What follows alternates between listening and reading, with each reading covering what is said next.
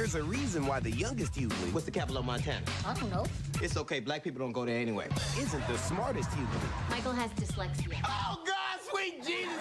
Do you know what dyslexia is? No, but it ends in Xia. Nothing good ever ends in Xia. An all-new Hughley's. Monday at 8, 7 Central on UPN. Buffy died, but October 2nd on UPN, she lives. Buffy the Vampire Slayer. New episodes, new.